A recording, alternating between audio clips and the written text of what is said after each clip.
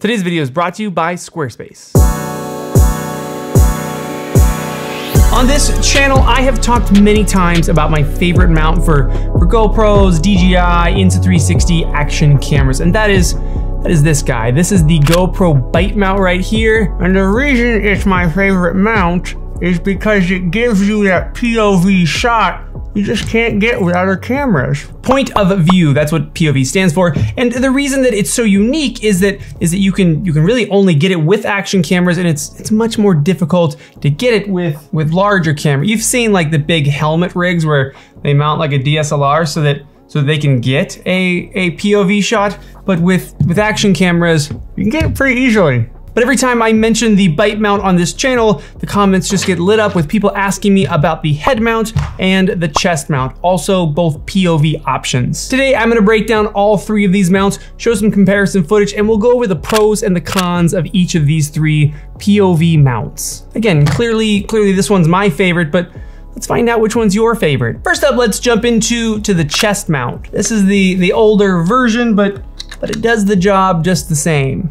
The main, the main pro with the chest mount is that, is that it's super comfortable to wear. If you are looking for a mount to wear just all day long, the chest mount is for sure the mount for you. Whether you are biking or motorcycling, maybe you're skiing, anything where anything where you're facing forward and, and you want to record all day long or you want to be able to record clips kind of throughout the day and, and really just have the camera locked in one spot for the whole day, uh, the chest mount it's the most comfortable mount there is, and you will forget that you even have it on. But also because there's a trick, there's a trick with wide angle cameras, and that is that the higher off the ground they get, the slower it looks like they're moving. And just the difference between the chest mount and, and the head mount, that like, was that two feet, one foot? Two foot, one, one, two, one, two feet. That difference, it actually makes it look like you are going significantly slower. Here's a side-by-side -side on an e-bike, mountain bike, and I'm going about 20 miles an hour, and here's the difference side-by-side -side between the chest mount and the head mount. And you can see that in the chest mount, it actually looks like I'm going faster than when I'm riding with the head mount. So if you are on a mountain bike or, or motorcycle, anything, anything again where you're facing forward and you wanna make it look like you're going fast, you, you want your friends to, to know how fast you bombed that that mountain bike run, uh, go for the chest mount over the head or, or helmet mount. Let me grab a, another camera, hang on. There we go.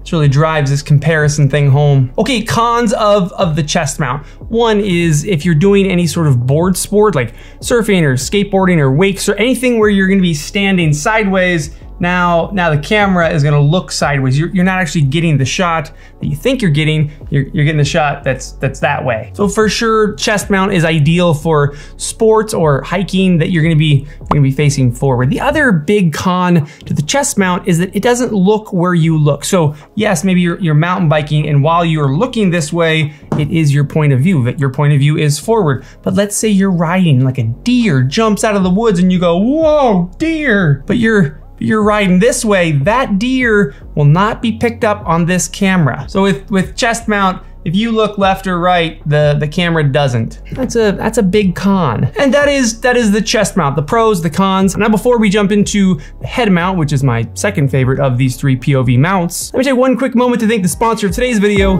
Squarespace. If somehow you've been on YouTube this long and you don't know about Squarespace, Squarespace is your all-in-one website building platform where it's really simple to make a website and it's all it's all really in one spot. I've been using them for the last 10 years for my photography business, and I've, I've just loved the experience, mainly because, again, everything is in one spot. I don't wanna spend my time building websites. So being able to go in there and start with one of the professional templates, use the new Fluid Engine design system to customize it unlimitedly. Like you can pretty much start with one of their templates, just swap your info in and like your website's gonna look dope. But if then you wanna take the time to really customize your website, know exactly what it's gonna look like on mobile, know exactly what it's gonna look like on someone's computer, you, you have the ability to do that. The Fluid Engine editing in particular has been like just mind blowing. Again, I've been with them for 10 years. The Fluid Engine stuff, it's pretty new and and it is kind of amazing. Whether you are looking to create just a portfolio website for your photography or videography business, or you're looking to launch an online store, Squarespace has you covered. Shoot to the first link in the description, go over to Squarespace, sign up for a totally free trial, totally build out your website during that free trial, and when you're ready to go live, use code David Manning for 10% off at checkout. Yeah, for years, I've recommended Squarespace to people. My website for my photography business, we owned a photo booth business at one point, that was Squarespace. My wife's band's website, that's Squarespace. My three neighbors that all run businesses, I've all gotten them onto Squarespace and everybody, everybody just loves how simple it is. Okay, back into my, like I said, second favorite mount. That's this guy, the head mount. Now, a big pro of the head mount is that it is also shockingly comfortable for how silly it looks. like the, the weight of your camera up there, you definitely feel it. Like if you're gonna be doing anything like, like running, I've done mud runs while wearing one of these things and definitely running like you're gonna feel it. But if you're doing anything like mountain biking or motorcycle riding and you're gonna helmet mount, I think the weight of the helmet is already there that the added camera weight doesn't wear on you that much. Of, of the three POV mounts, this is the second most comfortable. But the major benefit here with the head mount is that now wherever I look, the camera looks. And that that's actually POV. You're riding a mountain bike or a motorcycle or even, even just hiking along through the woods, wherever you look is what the camera is actually gonna pick up. Now, there's another big pro here in that there's actually two distinct shots that you can get with the head mount. The first one is, is that forward facing POV shot. Whatever you look at, it is gonna look at, but a lot of times, a lot of times the thing you're doing doesn't end up in that shot. But the other shot that you can do with this camera is you can tilt it straight down straight down like that. And now whether you're mountain biking or you're skateboarding, whatever you're actually doing, it's gonna shoot down and it's gonna see the thing that you're doing. Like for example, here's a shot of me skateboarding and you would just say, hey, that's just kind of forward facing. You, you can't even see the skateboard. And here's a shot with that down angle and you realize my daughter was actually riding on the skateboard with me. In that first shot, my POV, you, you, couldn't even tell that my daughter was with me on the skateboard. And in the second shot, you realize like, Oh, that's what you guys were doing. You were riding with your daughter. Okay, cons on this guy. It, it can get tiresome after a while. If you are, like I said, hiking or running, like you're doing a lot of this action, like sometimes it can rub on your forehead. And while the weight of it isn't that big of a deal at first, after a while, uh, you're, you're kind of ready to take it off your head. Then another con not really a con, this is kind of a tip and a con. The con is that yes, wherever you look, the camera looks, but you might not realize how much you look around until you have a head mount or a helmet mount. There's definitely times when I've been, I may be skateboarding like through a city or biking through a city, and you just don't realize like how much you check for traffic and you, you check for pedestrians and you check for different things around you. And then you get back to your, your computer, you pull up the footage and you're like, this shot is just like it's all over the place. And the last con about a head mount is that unless you have something like the DJI's magnetic mounting system, if it's just a GoPro up top, usually you've got to take off the camera to be able to change settings, to be able to do anything on the camera, even just make sure it's recording. Sometimes I'm like,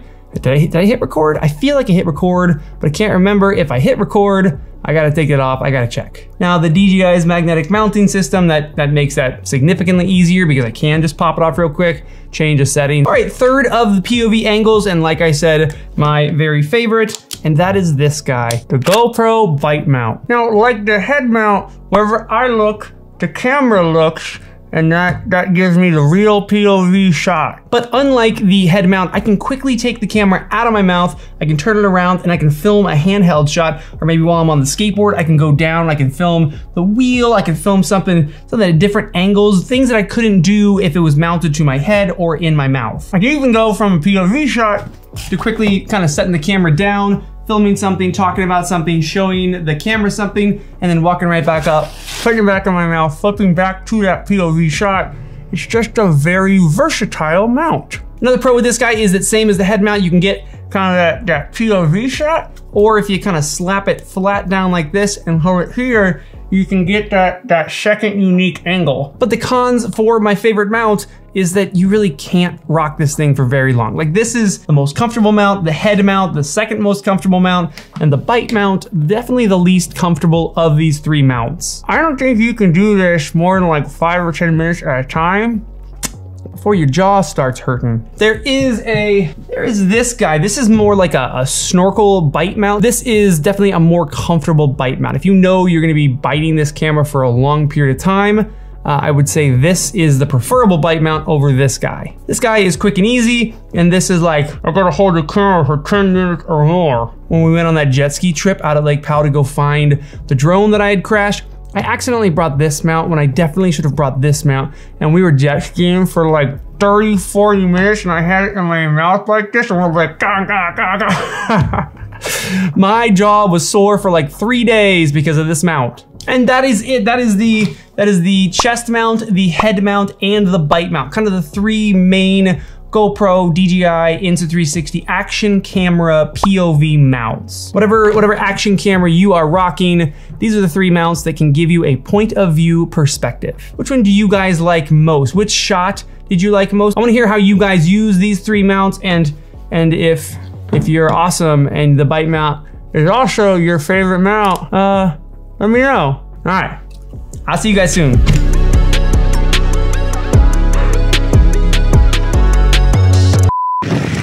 Oh, shit. Woo! Yeah, a little slippy on that one.